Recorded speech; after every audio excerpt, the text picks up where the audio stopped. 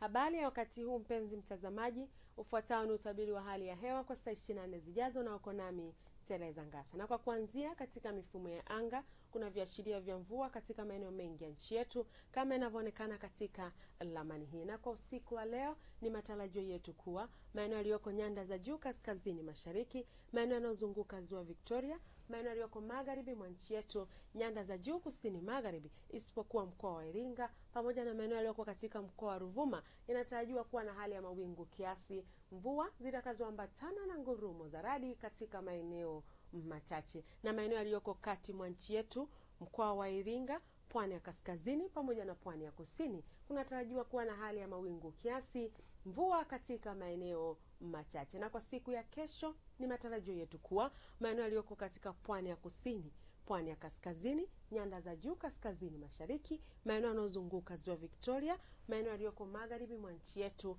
nyanda za juu kusini magharibi, isipokuwa wa mkoa wa Iringa pamoja na maeneo yaliyoko katika mkoa wa Ruvuma yanatarajiwa kuwa na hali ya mawingu kiasi, mvua zitakazoambatana na ngurumo za radi katika maeneo machache. Na kwa maeneo yaliyoko kati mwa nchi yetu pamoja na mkoa wa Iringa kunatarajiwa kuwa na hali ya mawingu kiasi, mvua katika maeneo machache. Na ufuatao ni utabiri wa hali ya hewa kwa siku nne zijazo.